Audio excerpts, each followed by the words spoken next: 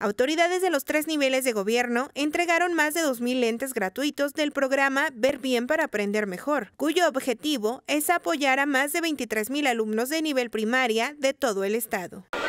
Acabamos de entregar en el arranque de este programa que ustedes pueden ver ahí, Ver Bien para Aprender Mejor, lentes a 2, 4, 6, 8, a 10 compañeritos, pero van a ser más de 23.700 niñas y niños en Zacatecas que van a recibir unos lentes como estos de manera gratuita, porque lo que queremos es que sigan estudiando. Estamos buscando es que ustedes vean mejor, para que aprendan mejor, pero pues también sigan un camino mejor, que sepan distinguir entre lo bueno y lo malo, que agarren un rumbo muy positivo y que el día de mañana sigan estudiando. Cristina Rodríguez, presidenta del CEDIF, recalcó que la prioridad es la inversión en necesidades que abonen al bienestar de los pequeños para que los problemas de la vista no sean un inconveniente en su aprendizaje. ¿Cuántos niños requerían lentes en Zacatecas y sus papás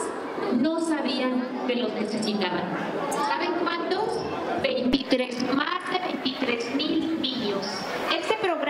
Es un programa muy bonito porque atiende lo que alguna vez el gobernador muchas veces me comentó.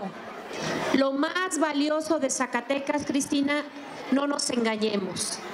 Lo más valioso de Zacatecas son ustedes. El jefe de la Unidad de Integración Social del Sistema Nacional DIF estuvo presente durante el arranque de este programa en Zacatecas, por el que reconoció el compromiso del gobierno estatal con los pequeños estudiantes. Señor gobernador, reciba nuestro reconocimiento por su generosidad, el compromiso en beneficio de los zacatecanas y los zacatecanos.